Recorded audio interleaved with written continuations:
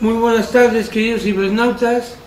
Pues nuevamente iniciando otra edición más de Platicando en la Lunita con Edgar Varela Cortés, maestro en docencia, y él ya nos explicará en qué otros rubros está especializado, porque pues a pesar de que es choluteca y que a veces a muchos cholutecas no les reconocemos su carrera magisterial, su carrera profesional, su carrera pues en lo que se desarrolla cada uno de ellos.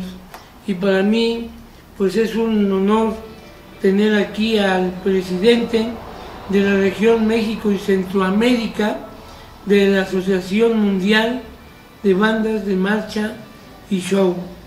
Creo que esto que nos da a nosotros como la primera carta de presentación, pues es digno de reconocerle al maestro Edgar, pues lo conozco muy joven y de cariño Edgar, este, que hoy nos viene a comentar y nosotros nos atrevimos a invitarlo para saber y conocer sobre la pasada eh, pues desfile de, de bandas de guerra, bandas de música, que se llevó a cabo el día 28 de octubre, precisamente este sábado que pasamos, platicando en la lunita con el maestro Edgar Varela Cortés, en la cámara Alberto Rocha Vázquez, en los sonidos es eh, Alberto Rocha Hernández y su hijo David Daniel, se me olvida, Daniel Rocha Hernández. Y bueno, pues este, bienvenido Edgar, agradecemos tu tiempo y pues tenemos el tiempo que tú quieras disponer, estamos a tu orden, sobre todo que nos platiques la experiencia una vez más que has vivido en, este, en esta marcha que, que tuvieron a bien, eh, que tuviste a bien de organizar el día sábado 28 de octubre. Platícanos. Bien, Goyo, eh, pues el Festival Internacional de Bandas de Marcha ya lleva varios años de estarse realizando. Eh, en esta ocasión lo hicimos el día 28 de octubre aquí en San Pedro Cholula nuevamente. El año pasado lo hicimos en, San Andrés y, bueno, ahora regresamos a, San Pedro Cholula, ¿no? Eh, yo creo que es el mejor escenario para las bandas, es un lugar que, que les gusta mucho por el recorrido, por, por todo lo que Cholula ofrece de manera natural para todos nuestros visitantes. El sábado tuvimos la presencia de 34 bandas de guerra, algunas acompañadas por grupo de panderos, algunas vinieron totalmente orgánicas, y de 13 bandas de música. En total tuvimos 2.800 jóvenes y señoritas participando y demostrando lo mejor de su repertorio en este evento. Sí, Edgar. Eh, obligadas, preguntas obligadas, por ejemplo, eh, de, qué, de qué lugar de procedencia, las que tú recuerdes, okay. Eh, bueno, de la municipio, de la región, de otros estados, tú dinos. Claro, en bandas de guerra tuvimos bandas de guerra de Atlisco, de Chaucingo, de la ciudad de Puebla, de la Ciudad de México. Este, de bandas de música tuvimos una banda de Cuautla Morelos, Chinelos Félix. Este, una banda de Bogotá, la compañía de marcha 436. Este, de Tlatlauquitepec, la banda de halcones del Colegio de Bachilleres. Este, eh, bandas de guerra de, Benemérito Instituto Normal del Estado, Búhos Vine, de San Andrés Cholula, del Centro Escolar de, San Andrés, Shelva, Cancino, de aquí de San Pedro Cholula, este, de las faldas del volcán, de, de Chautzingo, tuvimos una banda de nivel primaria, un nuevo proceso que está iniciando y que le están echando todas las ganas y es un proceso bastante interesante que en próximos años estará dando mucho de qué hablar. Y vino una banda de Córdoba, Veracruz, Troyanos. Qué bueno. de- entre, entre varias. que- Entre varias. Bueno, eh, a mí me sorprende que, bueno, estando aquí ya sabíamos que había esta, esta marcha, esta presentación, pero bueno, a mí me sorprende que al llegar aquí a la esquina Morelos y Seisur, que era el Soria donde desembocaba el final del, del desfile, pues de repente se oyeron los tambores y esto yo siento que algo debió haber pasado ahí, por lo menos una avanzada, algo que nos debió haber este, indicado que ya andaban por acá, ¿no? Mas sin embargo, las bandas que dieron aquí la vuelta se ven muy ordenadas, muy, muy disciplinadas. Algunas son militarizadas o solamente por la forma del comandante o del Eh, dirigente. Bueno, hay que decir que este evento lo hacemos gracias a la coordinación con la ENIC, la Escuela Nacional de Instructores de Banda de Guerra de México. Y todos los instructores ENIC eran los que venían uniformados de verano, pantalón negro y camisa kaki y kepi. Ah, sí, sí, porque me llamó la atención como si fuera algo, algo específico, como, como algo, pues los colores tipo militar, ¿no? Así es. Qué bueno que nos aclaras esto para que pues también te aproveches para ir dando los créditos y de los que vayas dándote Sí, cuenta claro. de quienes participan, ¿no? O quienes participaron.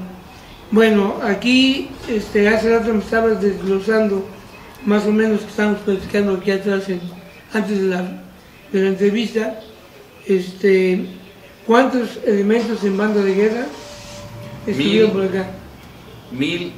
1836 En banda de guerra. en banda de guerra. Entre hombres y mujeres, porque hoy también Sí, ya, sí, Hay, sí, claro. ya hay mujercitas que entran al Ya, tambor. ya hay mujeres que están en tambor, hay mujeres que están en corneta, hay mujeres que son comandantes de banda y también por el tema de inclusión y de esta nueva tendencia que tenemos, ahora ya tenemos jóvenes que participan en agrupamientos de panderos. Ok, entonces 1800 en bandas de guerra. Así es, Y en banda de música, 954, elementos también entre hombres y mujeres. entre hombres y mujeres. Y esto es el duro, el dato duro de los que participan directamente. Directamente. Indirectamente, pues son No, los pues, familiares, los Papá, la mamá, los hermanos, los directores de las escuelas, eh, maestros de educación física que vienen apoyando.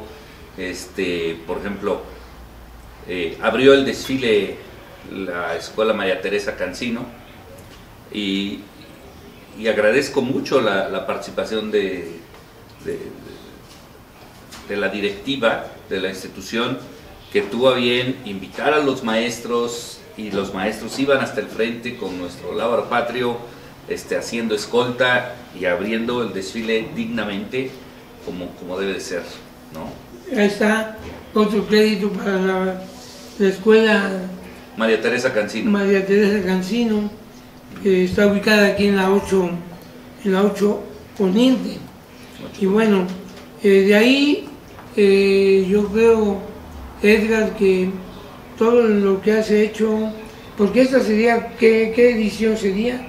De- del festival directamente es el tercer festival, pero campeonato latinoamericano o Copa Latinoamericana de Bandas ya llevamos cuatro. ¿Algún premio? Sí, el año pasado dimos un premio en efectivo de 20 mil pesos. ¿Y ahí quién, quién fue? el primer lugar se lo llevó Medellín Vanguardia, de Medellín, Colombia, Colombia. que es una banda de música, pero sí decir que el segundo lugar se lo llevó la banda de guerra auténtica de Nuevo León. Entonces, eh, esa banda vino de, de- de Monterrey, es una banda de categoría libre, pero solo con cornetas, tambores, se pudo posicionar en mejor puntaje que muchas otras bandas, ¿sí? que traen saxofones, trombones, eh, trompetas, tubas, redoblantes, multitenores, bombos, Clarines, saxofones, y todo. ¿no? Caray, que, pues, qué, qué maravilla, ¿no? Que solamente se, se utilizaron esos instrumentos. Y bueno, pues yo también creo que es complicadón Eh, allá en mis tiempos de estudiante en el, centro- en el Universidad de Cisneros, pues integrábamos, fui integrante de la banda de guerra y bueno, si aún ahí en un grupo pequeño, pues luego es complicado este, estar ahí pendiente con el instructor, pues me imagino que ahora para, para este tipo de eventos, pues deben de tener un instructor muy, muy enérgico y la disciplina para ellos, ¿no? Sí, sí, ya, el- por ejemplo, la Auténtica de Nuevo León es una banda independiente que ha alcanzado siete primeros lugares a nivel nacional en, en campeonatos abiertos de muy alto nivel, ¿no? Entonces ellos ya se dedican a ensayar para ganar, ya no tanto para la ceremonia de los lunes, el desfile del 6 de Ya septiembre. ellos llevan por Sí. galardones de mayor envergadura y Sí, incluso ellos nos van a representar a México, la auténtica de Nuevo León nos va a representar eh, a México en Colombia o en Alemania el próximo ¿cuándo año. sería eso? El próximo año.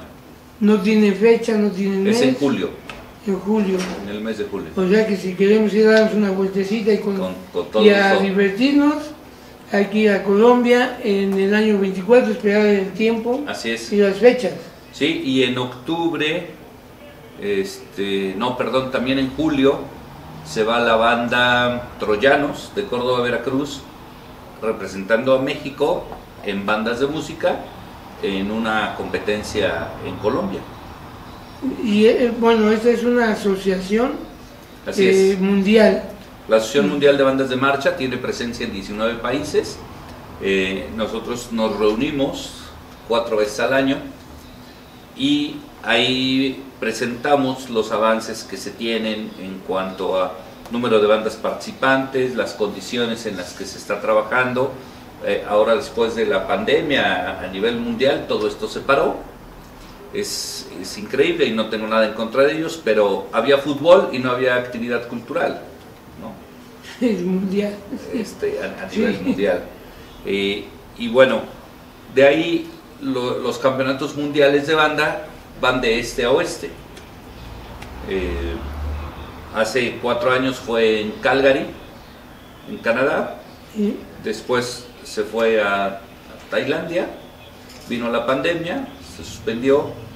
Este año fue en Estados Unidos, el año que viene va a ser en Alemania, en Restate, Alemania, y el siguiente año, eh, estamos hablando del 25, posiblemente sea en, en Tailandia, nuevamente. y el 26 estamos este, esperando que, que nos digan dónde va a ser.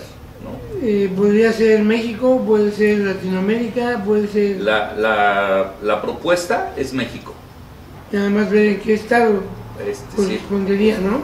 así es. Y acabas de mencionar el, del- el de Estados Unidos. Creo que también tuviste participación ahí, directa, fuiste ahí, Sí, estuviste. sí, sí, sí. A ver, platícanos cómo. Pues ese es el campeonato mundial, son cinco días de competencia. Las bandas participan en desfile, eh, concierto, presentación de Stop and Play, que es sobre la marcha, van tocando y van haciendo evoluciones marciales, y batalla de percusiones y color guard.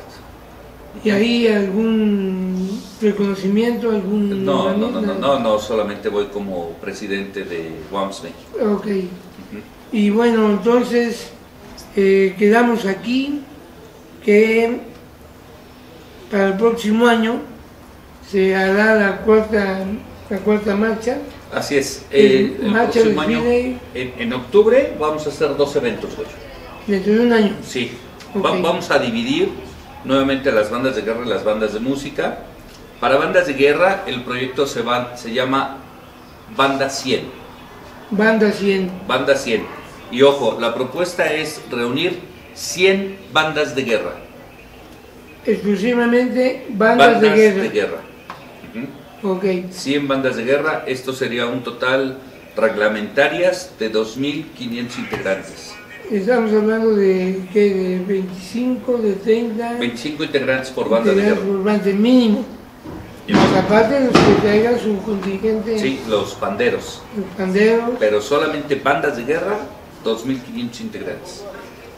Y acá en San Pedro Cholula. Aquí en San Pedro Cholula. O sea que, pues, este, discúlpame lo que voy a comentar, pero estás haciendo una primicia de este evento dentro de, un año que nos estás dejando, este, pues, como padrinos de, como padrinos del evento y a ver aquí es nuestro productor Alberto Rocha Vázquez, a ver qué, qué nos puede preparar, porque todavía nos quedan 364, 62 días, porque el sábado fue el evento. Dentro de un año, 362 días que este, van a tener este evento. Y bueno, este eh, Edgar, pues yo en este tema te agradezco que nos des este comentario y que haya sido tú el que lo, lo mencionas, porque sí creo que es importante que no solamente los gobiernos o los ayuntamientos apoyen en lo que puedan también, ¿no? Sino yo creo que aquí en San Pedro Cholula hay una, una amplia cantidad y ya vemos un grupo eh, numeroso de empresarios que pues este, podríamos apostarle a que no nada más sea el trabajo del presidente de la asociación y el presidente eh, que representa en este caso tú que tienes que andar tocando puertas, tocando pues tocando el tambor para que te abran para que te abran esas puertas y, y pues a lo mucho eh, pues el apoyo que se te dé sea mínimo y, bueno, quien se compromete y a la mera hora no apoya, pero yo creo que, que hacemos una labor este, meritoria para San Pedro Cholula y más meritoria para el, trabajo que tú desarrollas, pues podríamos lograr algo mucho más, eh, no, no en organización, pero sí en apoyo al, al evento. Pues, estamos hablando de 100 marchas y de, 100 bandas. Ahora, esas bandas son a nivel nacional o también no, eh, mundial. La idea es que, que vengan bandas nacionales. Okay. En, en otros países, por ejemplo en Colombia, ya no se llaman bandas de guerra. Debido al conflicto social, que tuvieron, ellos ya no, ya, ya no se llaman bandas de, de, guerra, se llaman bandas de marcha, ¿sí? en Guatemala se llaman bandas de paz, ¿ok? Eh, pretendemos que para el próximo año ya se vayan preparando los amigos de Guatemala con una o dos bandas y los amigos de Colombia con dos bandas para que puedan convivir con nosotros aunque el estilo y la instrumentación es diferente, pero se puedan acoplar a las marchas que nosotros tenemos por aquí. Bueno, y aparte yo creo que más que, como dices tú, ¿no? Tienen su estilo, tienen su régimen musical, lo que tenga que ver con las bandas, pero yo creo que lo importante es integrarse, que participen, que convivan con la gente de la asociación y pues Cholula les voy a brindar algo más que, que venir a una banda. Sí, claro, lo que tú dices es muy importante. Mira, este año, este, Yuncri de Tomás, y, y, y, lo tengo que decir y subrayar, este, nuestro buen amigo el Cháguaro fue quien nos, nos, nos, apoyó, Isauro, nos apoyó con agua para, para la hidratación de, de los muchachos este, Alejandro Ramírez con su página de vivecholula.com también nos ayudó bastante con la difusión, con la cobertura del evento y pues lamentablemente no tuvimos todo el apoyo que hubiéramos querido de la parte gubernamental. Por la parte gubernamental tuvimos el apoyo de la regidora María Eugenia Cerón, de Cultura, de la regidora... Cerón Jiménez. Sí, sí. Este, de la regidora Janet Minto, sí. ¿sí? del regidor David Castellanos. Y de ahí sí contamos con, con, el apoyo de la Secretaría de Seguridad Pública y la Dirección de Vialidad Municipal. Ah, qué bueno. Sí, Pero no hubo más apoyo. ¿sí? No hubo apoyo por parte de Cultura, no hubo apoyo por parte directamente de la, de la presidencia municipal, que hubiera sido importante, ¿no? Este, pero bueno, con buenas voluntades se logran hacer grandes cosas cuando tienes la intención de hacerlas. Este, otra de las personas a quien tengo que mencionar es al tercer oficial Miguel Ángel Oliva García y a Benjamín García. Benjamín es de aquí de Cholula y él es el director operativo de la Escuela Nacional de Instructores de Bandas de Guerra para el Estado de Puebla. Sí, gran amigo mío, fuimos compañeros de la escuela, este, contemporáneos, ahí en, algunos años, integramos juntos la banda de guerra del, centro escolar, licenciado Miguel Alemán, y ahora él es quien encabeza este, la Escuela Nacional aquí en Puebla. Y con Miguel Ángel García, pues pudimos trabajar juntos en el Centro Escolar Morelos, ¿sí? como él es el instructor de la banda de, guerra del Centro Escolar Morelos. ¿Miguel Ángel García qué? Eh, Miguel Ángel Oliva García. Oliva García. Oliva García. Y este, trabajar con él. Eh, y él, ellos dos apoyaron bastante en la logística y operatividad del evento, porque controlar 34 bandas de guerra desde el orden, el registro, este, que mandaran su estado de fuerza, que estuvieran atentos con qué se iba a hacer, qué no se iba a hacer, qué se puede hacer, qué no se puede hacer, es bastante, bastante titánica la labor. Sí, complicado y hay que tener, tomar dedicación y sobre todo que no es un evento interior local, ¿no? Es un evento local pero que va a manifestarse al exterior, ¿no?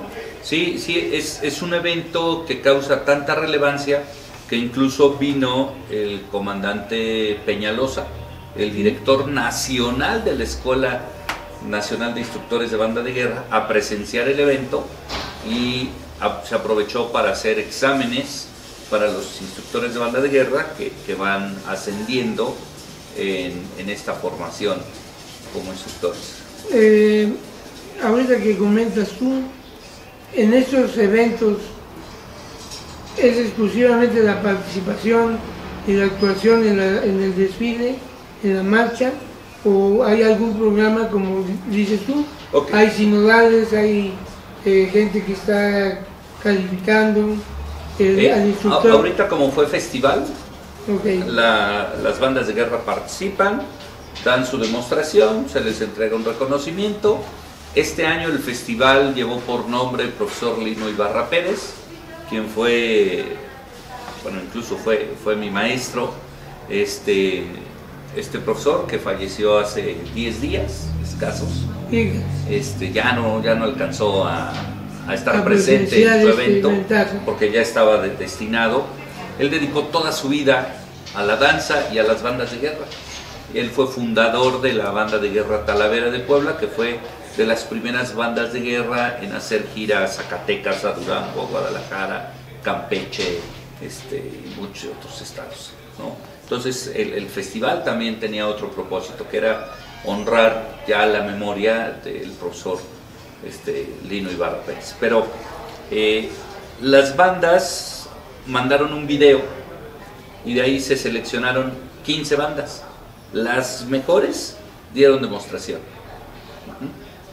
Digo, las otras no alcanzaron a poder dar demostración, tal vez por algún detalle por ahí, pero no por eso son malas, ¿no? Son, son procesos de formación y debemos de entender esto. Si eres secundaria tienes a los alumnos tres años, si eres centro escolar los tienes seis o siete años si entran desde sexto de primaria. Pero cuando este alumno que entra en sexto de primaria sale de tercero de prepa, ya tiene que venir la otra camada, ¿no? Y esos procesos pasan en todas las bandas, bandas de guerra o bandas de música. Por eso este año escuchas una banda muy fuerte y al siguiente año dices, ¿qué pasó? Ah, bueno, pues que... Misma banda, pero más... Sí, pues se te graduaron 30, se te graduaron 40. Entonces, otra vez hay que empezar a enseñarles... El semillero ahí. Sí, ¿no? Y otra pregunta que me cabe aquí, la duda, es... Sabemos que las bandas de guerra en cada institución, en cada colegio, en cada escuela, pues ya se están ahí eh, formando su banda de guerra, su banda de música, pero tú has visto o has previsto o tendrás intención de formar una escuela para alguna banda monumental, banda de guerra, que aparte de estar yo en una escuela participando en mi banda de guerra, pues vaya yo con el maestro Edgar Varela a, aprender más. Sí, que tengas ahí algo así, capacitación. Sí, sí. Y si no la tienes, pues adelante, ¿cuál es el problema? no, fíjate que, que, sí tenemos ese proyecto. Qué bueno. Tenemos un proyecto de armar una banda de guerra para competir en eventos nacionales. ¿no? Posiblemente en enero ya empezamos este, a conformar la banda. Este, ya te daré noticias de eso. Este, será una banda muy militarizada, muy apegada al, manual, pero que también tenga cierto toque muy, muy especial. ¿no? Este, de veras, queridos cibernautas, esta pregunta y este comentario que le hago a Edgar, no lo habíamos tocado, no lo habíamos, vaya, ni siquiera ese ratito que estábamos antes de la entrevista, no lo habíamos, este, bueno, ni lo había pensado, pero ahorita que estamos platicando de esto, pues esa es mi pregunta, ¿no? Ya si de aquí se toma y adelante, pues sería magnífico, ¿no? Para los jóvenes, porque pues por cuestiones del destino, cuestiones pasadas de la vida, pues a veces no concretan mucho sus estudios o su carrera, pero traen esa, ese talento en la música, en el oído, y pues de repente yo he visto algunos jóvenes que de jovencitos pues participaban en bandas. Uno de ellos, por ejemplo, y es muy, fue muy conocido, el maestro Rufo, así lo conocíamos. claro. Dos de sus hijos creo que se dedicaron a, a escoletas, a dar, este, pues ser dirigentes de las bandas de guerra y, muy buenos. sus este, hijos y, y uno de sus nietos. Entonces, a eso voy. Que haya alguien que se quiera preparar más para tener ya, pues, intervenir en una escuela, eh, dar clases a, una banda de guerra y que se vaya preparando porque pues la población, los jóvenes todos siguen creciendo, ¿no? Y eso yo creo que es una buena, una buena oportunidad. La, esta eh, pues, ¿qué puede hacer este, escuela o capacitación? La Escuela Nacional de Instructores de Banda de Guerra. De banda de guerra, eh, pero para que los chavillos que, ya no quieran, este, bueno, que quieran ir más allá, pues lo puedan hacer en su localidad, ¿no? Yo a eso, eso más o menos es algo que me, me refiero. Sí, sí, sí, este, te digo, el proyecto va encaminado a cumplir con lo que el reglamento va a pedir para los concursos reglamentarios, pero también va a tener este, un, toque diferente. Es lo que hemos estado planeando. Este proyecto de la banda de guerra ya tiene algunos meses de estarse trabajando. Queremos primero definir las bases para ya después comprar instrumentos, invitar a la gente y empezar, pero ya con algo sólido. No, no que se da a conocer y y si es comprar, porque no son nada, no son nada accesibles, ¿no? Y sobre todo para gente que inquieta, que quiera tener su intervención, pues no nada más es cosa de comprar, ¿no? A lo mejor con donaciones, con como la gente pueda apoyar sabiendo que es una banda para San Pedro Cholula, a eso me, sí, me enfoco, ¿no? Y que tenga su propia banda y bueno, pues así como los invitan a las escuelas a participar en las ceremonias de lunes, bueno, pues invitar a la banda Cholula a algunos otros eventos, ¿no? Sí, sí, Que yo creo que vienen muchos, ya porque últimamente, pues, dentro de lo que me muevo yo, en algunas cuestiones eh, de colaboración, pues veo que hay un evento un día y otro día y otro día, bueno, pues, pues hay que invitarlos, hay que irlos invitando, ¿no? Sí, sí, sí. Pues mira, eh, ese, te digo, ese proyecto ya, ya lleva algunos meses, sí nos falta concretar algunas otras, algunas otras eh, cosas que, que hacen falta para poder iniciar con el pie derecho. Entonces yo creo que por enero ya estaremos este, dando de qué hablar sobre no, este no dejes de informarnos y aquí ya le vuelvo a, a recordar a nuestro productor que ya tenemos una primicia y que este pues esto que nos acabas de comentar para nosotros es nota. Y qué bueno que lo, lo dices ahorita porque falta un año entonces irse preparando. Eh, sigo en lo, mismo ver niños muy jovencitos que todavía creo que son de que apenas entraron a secundaria muy gallardos muy entusiastas participando y que ahí están, ¿no? Y que pues tienen esa inquietud. Eh, dentro de tu perspectiva, ¿qué te mueve, qué les mueve esta, este, este tema de, de las bandas de guerra? Bueno, yo ingresé a la banda de guerra cuando estaba en sexto de primaria. Mi papá dirigió la banda de guerra del centro escolar de Cholula algunos años, después de un Rufo. Después yo me, me hice instructor de banda de guerra. Este, ya cambié el giro, ahora doy clases directas en la materia de artes, ¿no? Pero el amor por la banda no se muere. El amor por la banda sigue y, y persiste y ahora que tenemos la oportunidad de poder estar al frente de la organización y, Ah, y ah, de tenemos... que sigas, te sí. interrumpo, te interrumpo. Eh, Edgar Varela Cortés, eh, para quien ya lo conoce, quien ya conoce a Edgar, este, pues sabemos cuál es su, su ascendencia. Pero también quiero comentar que Edgar es hijo del maestro Tomás Varela González. González, quien fue mucho tiempo prefecto de disciplina, ay nanita, en el centro escolar licenciado Miguel Alemán. Perdón por la interrupción. Gracias.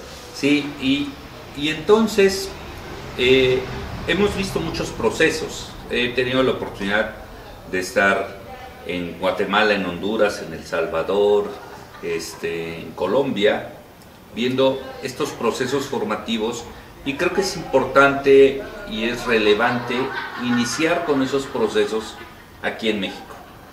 ¿Mm? Tenemos muy pocas bandas infantiles.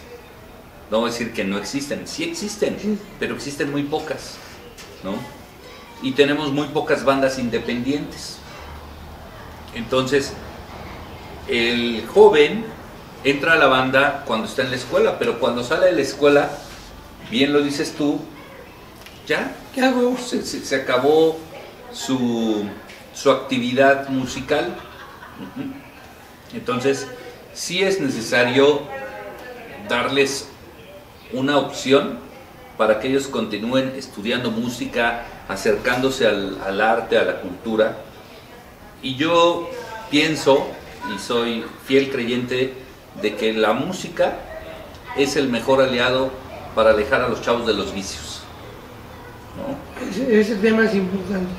Eh, y ahí se, se junta otro tipo de actividades, como las rondallas, ya, ya no tenemos rondallas en Cholula, después de que teníamos varias rondallas Sí. aquí en Cholula, eh, creo que solamente nos quedan los amigos de la rondalla de Rivadavia que ensayan aquí, aquí junto, ¿no?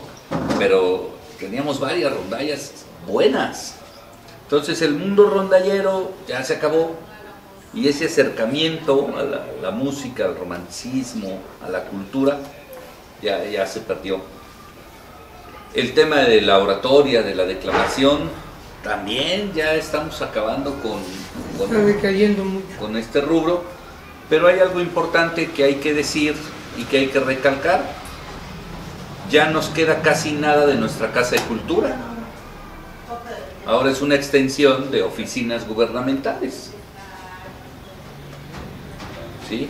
Pero antes recordarás, Goyo, que había danza, rondalla, guitarra, piano, pintura, manualidades, este, En, en el año 99, 1999, un poquito antes, y ya cuando estuve yo en la dirección de turismo, no fui yo como director, pero sí fue la maestra Débora Somoza en Casa de Cultura, directora de Cultura, y eh, tratamos de hablar con el, con el presidente municipal, eh, don Francisco Castillo, y sobre todo las clases de náhuatl con el maestro Genaro Medina, que estuvo ahí, nuestro querido amigo Genarozzi, le damos un, saludo.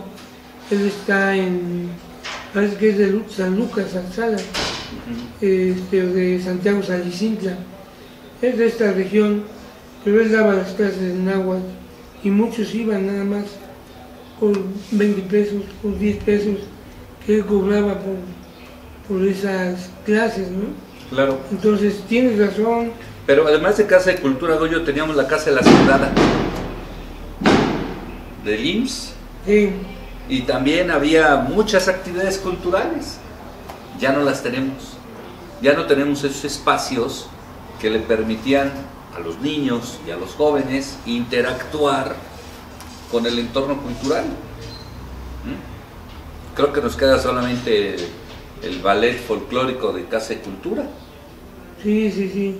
Pero mm, creo que hay, unas clases de pintura, hay clases de piano, este, son muy poquitos alumnos, eh, se sigue dando náhuatl, hay zumba, hay baile de salón, pero, pero toda la ramificación de acercamiento con las artes, ya no existe. De ese árbol nos queda una ramita de perejil, Sí, sí, sí, pues es, importante hacer un llamado y sobre todo en el tema, bueno, pues a lo mejor ahí, si hablamos de banda de guerra o banda de, banda de guerra, pues corresponde a, la seguridad pública, ¿no?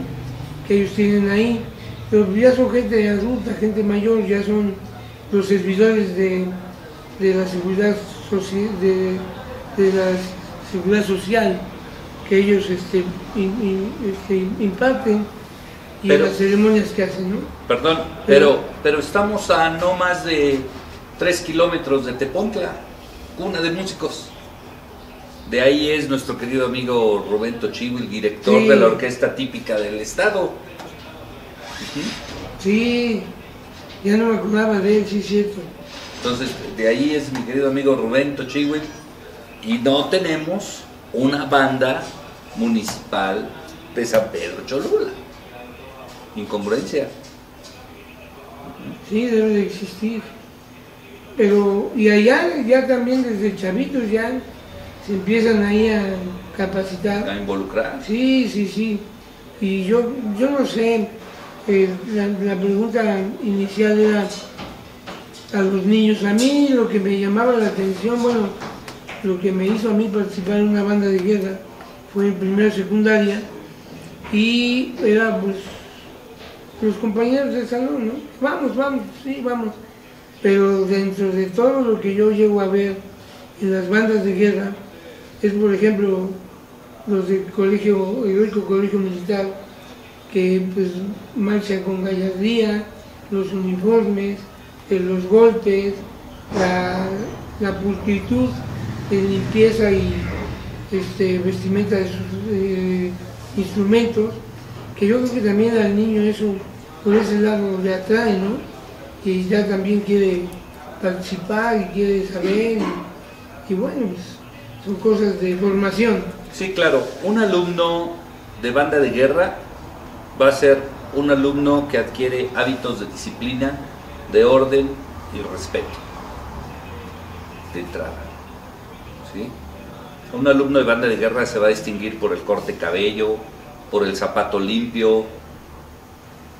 Porque también no se deja presentar de los que le hacen burla de que no puede tocar la corneta o infla mucho los cachetes, porque el otro va tocando y de repente se le rompe el el cuero, ¿no? Sí, el, el, el parche, cosas así. Sí, sí, o sea, Entonces, las actividades de banda de guerra, de panderos, son actividades muy formativas, no nada más son actividades de ir a perder el tiempo. O de, o de, de rumblón, como decimos, Claro. ¿no? Ya Mira, la En el caso de los jóvenes que, to- que tocan en las bandas de música, el joven de la banda de música se aprende la melodía de memoria y además sabe en qué momento y en qué compás tiene que tocar y girar a la izquierda o girar a la derecha o subir el instrumento o caminar de manera diferente. Entonces eso lo hace un artista o un atleta cultural. Ujú. Sí, fíjate que eh, todo eso me quedé, me quedé pensando desde el sábado y viendo, y, como mm, lo ves en los, ya viene el Super Bowl, en los partidos de fútbol americano en medio tiempo, cómo con qué, con qué disciplina, con qué, y van moviendo el sax, y van moviendo trompetas, y van caminando, y- o sea, es, una- es un arte, ¿no? Sí, es Es una disciplina. una cuestión que, que hace que el ser humano se pues, demuestre su capacidad, talentos, talento, yo le llamo talento, y, y pues sobre todo que pues, les gusta, ¿no? Y se vuelve una pasión, porque para ti esto ya es una pasión. Sí, sí, claro. el día que no haya esto, ya no existirá Edgar Varela para, para seguir promocionando tanto. Pero sí, este, sí hay ese tipo de situaciones, ¿no? Sí, sí, sí. El, el alumno aprende a desarrollar su inteligencia musical, su inteligencia espacial, su inteligencia matemática. ¿no? Porque la música es Matemática. pura matemática. Un, dos, tres, cuatro, y ahí te vas a tres octavos. Y, y la nota redonda de cuatro tiempos, de, este, Sí. en fin, Entonces, eh, todo esto no, a mí me, me, me pensar qué voy a hacer. ¿Qué voy a hacer para poder dejarle algo bueno a mi lugar? Los festivales, y lo platicaba con Miguel Oliva el día de ayer, ojalá y cuando ya no estemos en este plano, alguien se acuerde de estas actividades y las siga llevando a cabo.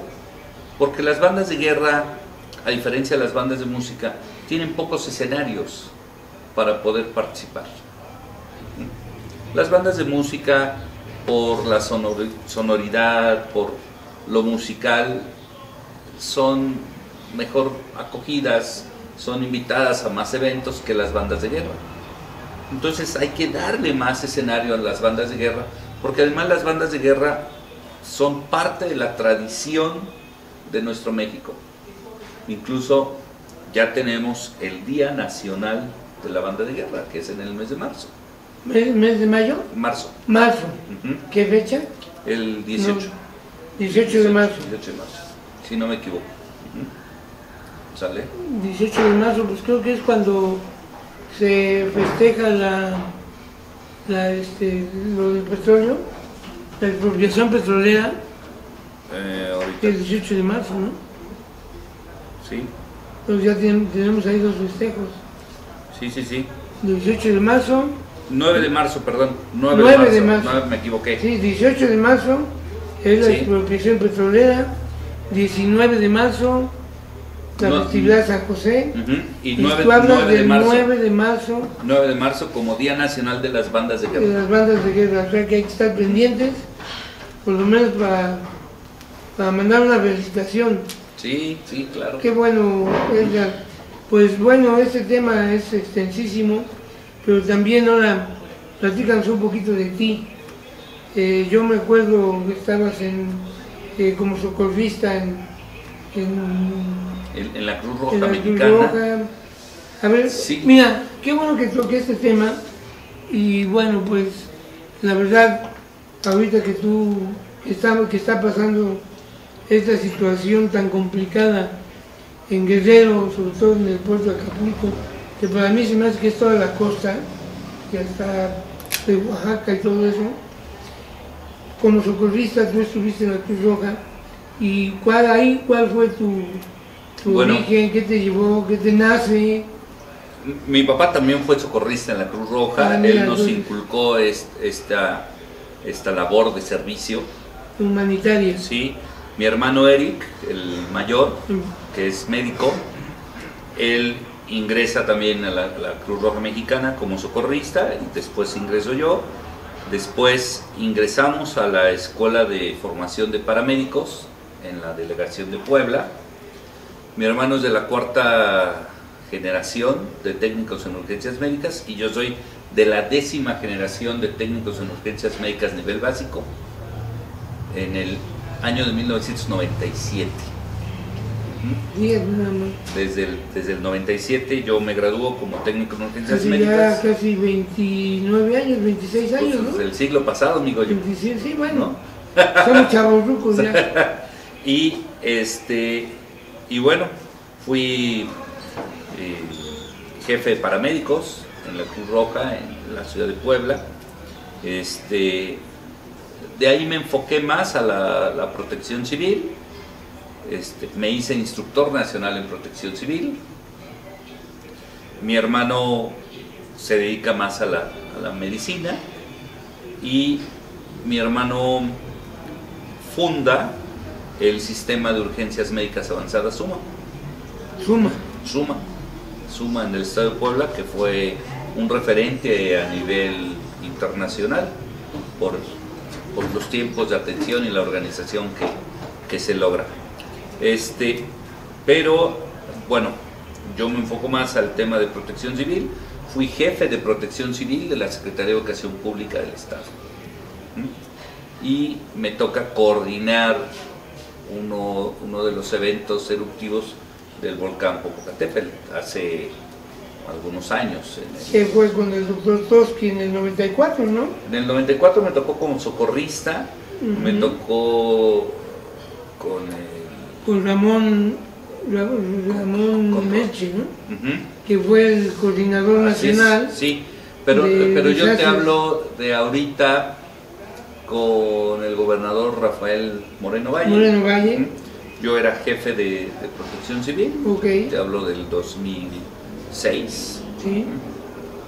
y me toca parte de los, de los eventos del volcán.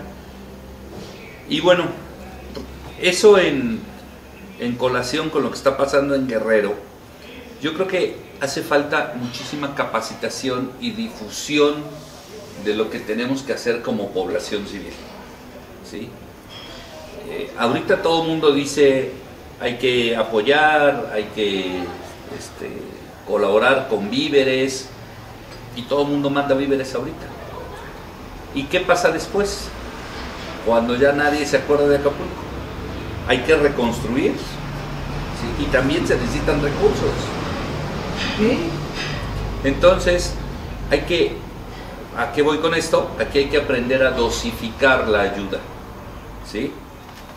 No dar toda la ayuda en un solo momento, sino generar momentos donde ahorita llegue ayuda, si hace falta, viene una segunda ola de ayuda, ¿sí? Y si hace falta, viene una tercera ola de ayuda.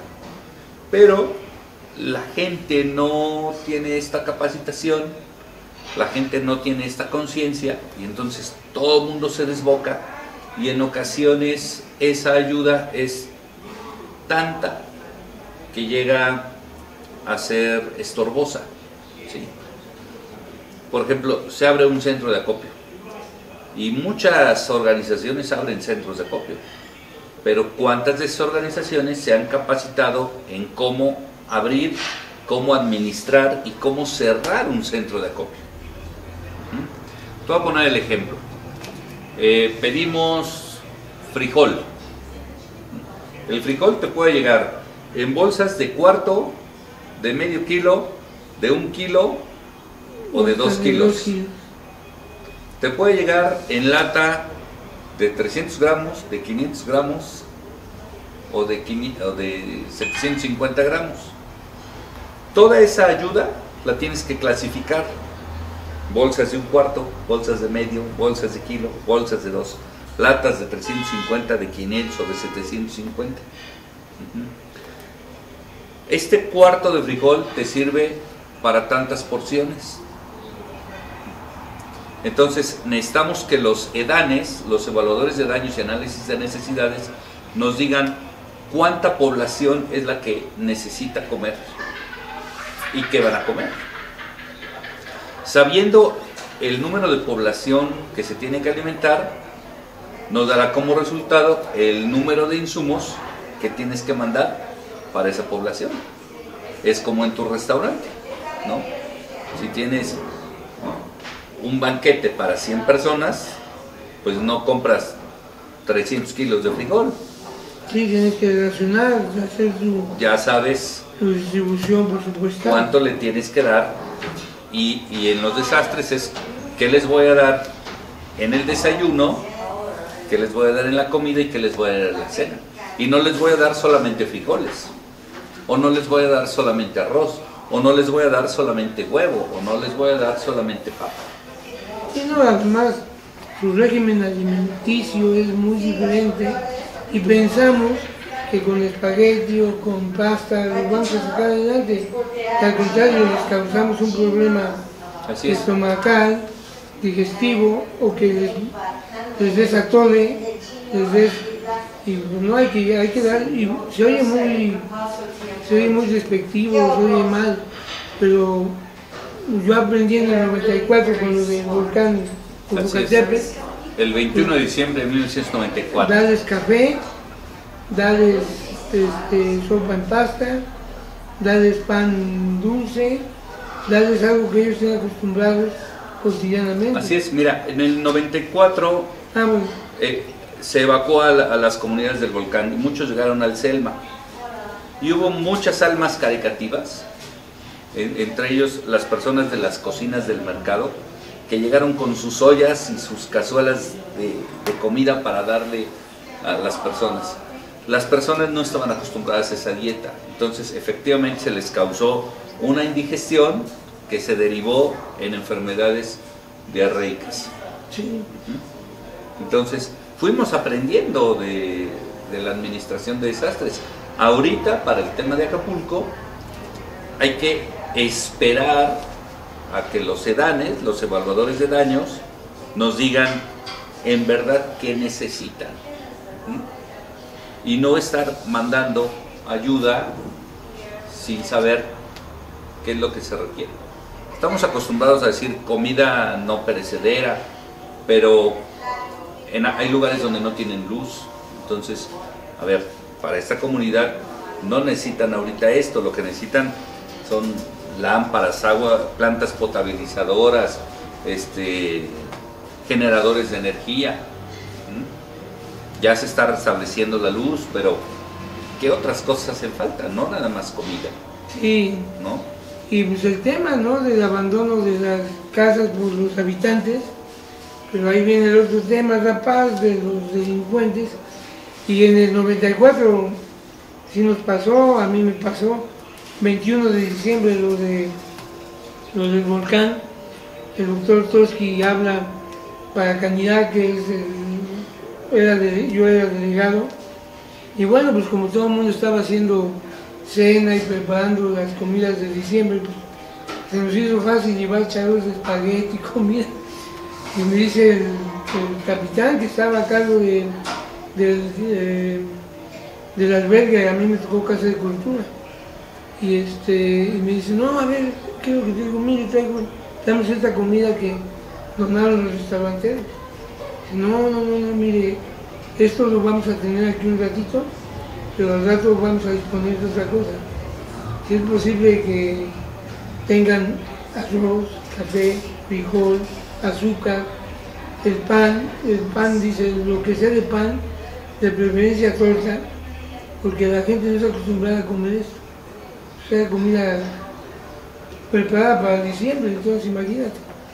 Entonces sí tuvimos que, que retirar ese tipo de alimentos y aprendí que en las comunidades que ellos se desarrollan, pues lo cotidiano, ¿no? El cabe- la tortilla, por ejemplo, ah, en ese tiempo todavía vivía eh, Carlos Jalil Navarro y que nos hizo favor de donar tortilla, porque pues, era el taco con sal y la gente estaba Claro. ahorita estamos hablando de Acapulco, la gente está acostumbrada a otro tipo de comida. Sí, Entonces, todo eso se tiene que ver. ¿Mm? Vamos a mandar ropa, sí, no es lo mismo la ropa que usamos aquí, que es más abrigadora, que la ropa de costa. sí, playeras, shorts, chores, Ujú. playeras, pues hasta sandalias, ¿no? Ahora, hay que prepararnos con los micóticos. Ujú. Porque se va a dar un tema de micosis bastante importante. Sí, Ujú. El tema de las radiocomunicaciones. Gracias a los radioaficionados se ha logrado establecer una comunicación importante entre Guerrero y el resto del país. Ujú. Entonces, ahorita aunque el gobierno federal quiera acaparar toda la entrega de la ayuda, este, creo que tenemos que esperar y ser prudentes hasta que nos digan qué hace falta eh, en verdad. sí, específicamente sobre un... y hasta dirigido, ¿no? Sí, claro. Porque pues, ese es un tema que realmente, pues a- hasta que no nos pasan las cosas, no aprendemos. Y desgraciadamente, bueno, pues allá no se tenía previsto este tema y ahora lo están sufriendo y bueno, pues nosotros desde nuestro terruño hacemos énfasis en lo que acaba de comentar ahorita el maestro Edgar Varela sobre no eh, proyectarse, sobre no, este, más bien dimensionar que en lugar de poder dar una ayuda, podemos dar una preocupación, ¿no? En mandar algo que posiblemente ni lo utilicen. ¿Por qué? Porque el régimen alimenticio es uno, el tipo de ropa de vestimenta es otro, este, el tema de la salud, muy importante, ¿no? Eh, infecciones, todo lo que pueda venir ahorita, que no podría ser pandémico, pero sí es este, de vital importancia para la salud humana. Este, ya cada el tema del agua. el tema del agua, ya este, sí, bastante importante. Ahorita Canidad Cholula, perdón por el comentario, pero ahorita Canidad Cholula eh, aportó eh, 20 charolas de agua, no fue mucho, conseguimos 20 charolitas de agua, son 240 botellitas, pero eh, no, 480 botellitas que pues, van a tener un destino a través de Cruz de México, van a tener un destino porque este, pues, también si tú llevas por tu parte víveres, te van a saquear, te van a hasta regresar sin zapatos, ¿no?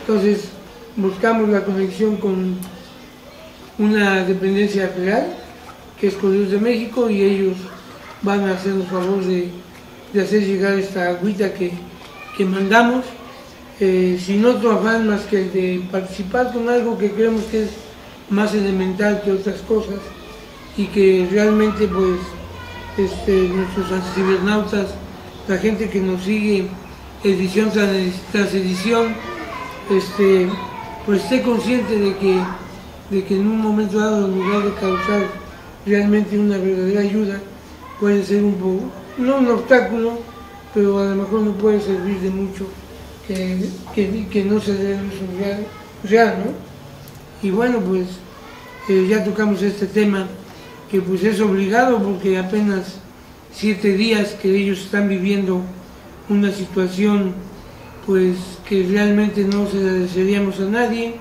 independientemente del turismo, de la, de, la cuestión económica, de todo, pues salvaguardar eh, las vidas humanas que, que ahora sí no respetaron este huracán Otis, no respetó clases sociales, eh, religión, no, no respetó nada. Sin embargo, pues están sufriendo esta situación de, de- del huracán. Y bueno, pues este algo más que quieras agregar, querido Es- sí, sigo este, yo. que- Edgar, en cuanto a las bandas, en cuanto a lo de Bueno, ahorita lo que en, lo del tema de, Acapulco, aclarar que no estoy diciendo que no apoyemos, simplemente que esperemos, ¿no? que aguardemos un poco nuestra ayuda, porque este tema del desastre no va a concluir en 10 días, ni en 15 días. Entonces, no hay que desgastar toda la pila en el primer momento. Hay que dosificar la ayuda para que pueda tener un mayor tiempo de colaboración social los, los hermanos acapulqueños. Eh, eh, ese es, en un punto. Y en el tema de las bandas, pues ya te di la primicia del evento del próximo año y aprovechar para invitar a todos los comercios establecidos a que se sumen al proyecto del próximo año. Yo le había comentado a Isauro, mira, podemos poner una lona de un establecimiento entre cada banda y vestimos el evento.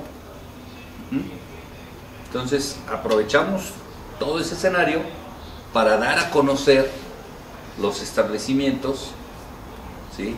y hacemos un evento mucho más bonito, más robusto y con mayor estructura para el próximo año.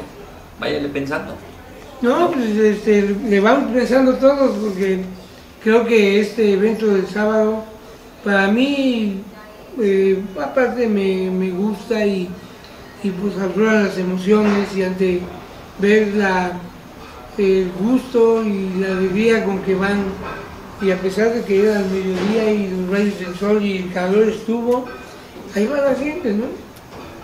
Me tocó ver por ahí un instructor, no me acuerdo de qué escuela era, muy disciplinado sus, sus este, los miembros de la banda, de la banda de guerra, este, y él muy enérgico, muy, muy este, lo que a veces, a veces nos, parece chusco, pues estaba en su papel y estaba rápido y por ahí vio que alguien se equivocó o algo y rápido lo señaló y pues, como que se ubica, ¿no? Porque yo creo que es, es emocionante participar, es eh, pues desgastante con la cuestión del calor, el clima y sobre todo que pues vienen con gusto a un municipio que les invita como tú lo haces y en esta postura de tener una responsabilidad social, cultural, educativa, de formación también, pues es, para ellos ha de ser así como que, este, vamos a Cholula, vamos a, vamos a tal lado, así como tú cuando vas a algún lado, pues lo ves con esa emoción, ¿no? Sí, claro. Pues algo que nos quieras comentar más. Pues nada más agradecer tu espacio, Goyo, este, saludar a todos aquellos que que ven tu programa y invitarlos a que sigan participando en las actividades culturales de San Pedro Cholula, porque Cholula es cultura, 100%. Sí, un lugar, una comunidad que tiene historia, pues obviamente tiene cultura y la cultura pues lo decía un maestro que no digo su nombre, pero decían, es, la cultura se mama y la verdad es que aquí en Cholula pues tenemos todo, tradición, cultura, arraigo, identidad, tenemos todo. Así que queridos cibernautas, por un lado agradecerte Edgar nuevamente que nos hayas acompañado a esta quincuagésima edición de Platicando en la Unita con Edgar Valera Cortés, quien es presidente de la Asociación eh, Mundial de Bandas de, Marcha y Show. Además, él representa a la región México y Centroamérica en la cuestión de las bandas de música y bandas de guerra. Y queridos cibernautas, pues volverles a comentar que por lo menos desde nuestra trinchera, pues haremos una oración por todas las personas que están sufriendo en este momento todavía y seguirán en muchos días ahí en el puerto de Acapulco. Y bueno, pues solamente agradecerle a nuestro productor Alberto Rocha Vázquez y a los eh, y, a, y a quienes nos apoyan en micrófonos, Alberto y Daniel eh, Rocha Hernández, quienes ahorita están en, en trabajos, altos trabajos, descansando, pero están en altos trabajos. Y así es, así es como llegamos a esta quincuagésima eh, edición de Platicando en la Lunita con muchas gracias, buenas noches.